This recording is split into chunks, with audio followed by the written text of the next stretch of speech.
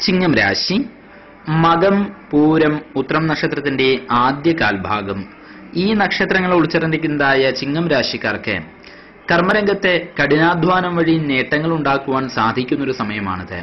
വരുമാനത്തിലും ഗണ്യമായ രീതിയിൽ തന്നെ മാറ്റമുണ്ടാകും. പുതിയ ഭവനം പുതിയ വാഹനം എന്നിവയ്ക്ക് യോഗം കാണുന്നു. ഇഷ്ടപ്പെട്ട വ്യക്തികളെ പിരിഞ്ഞിരിക്കേണ്ടതായിരിക്കുന്ന ഒരു അവസ്ഥയും വന്നു ചേരാം. പുതിയ വിദ്യകൾ പഠിക്കുവാനും പുതിയ കാര്യങ്ങൾ ചെയ്യുവാനും പ്രചോദനമുണ്ടാക്കും.